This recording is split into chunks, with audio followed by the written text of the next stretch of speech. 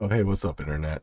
So I have this little clip on microphone that I never use, and uh, I just wanted to test it out in combination with the Linux AI that's removing background noise.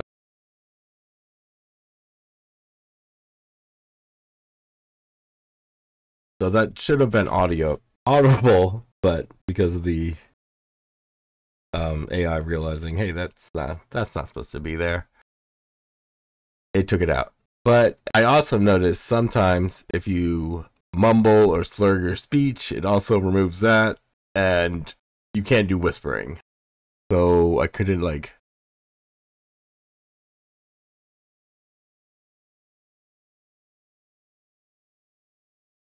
But if you talk in a normal tone, then you'll be able to hear it.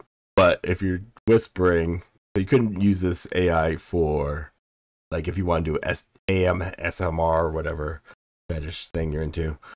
Um, you couldn't do that one, but you could do like normal talking and stuff like that. Pretty cool. All right, peace out.